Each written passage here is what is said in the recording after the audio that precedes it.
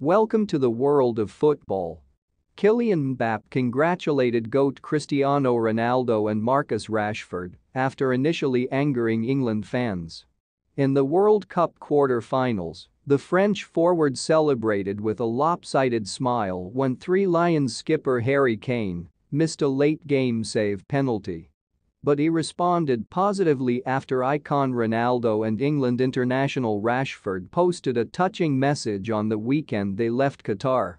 Manchester United stat, the 37-year-old Ronaldo has hinted he's thinking about an international future after seemingly embracing his biggest remaining dream of winning the World Cup with Portugal.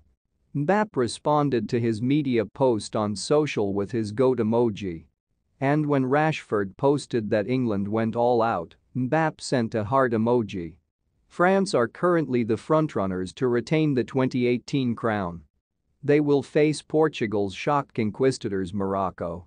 And with five goals, Mbappe is well on his way to winning the Golden Boot.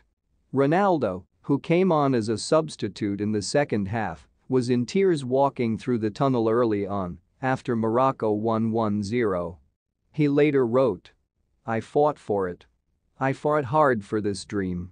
In 16 years, we have played in the World Cup five times, always alongside great players and supported by millions of Portuguese.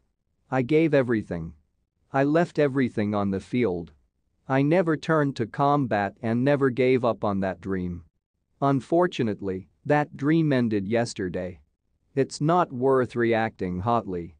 I want everyone to know that much has been said, much has been written, much has been speculated, but my commitment to Portugal has not changed for a moment.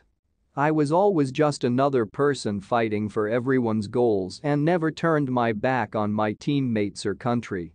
I have nothing more to say at this time. Thank you Portugal thank you Qatar.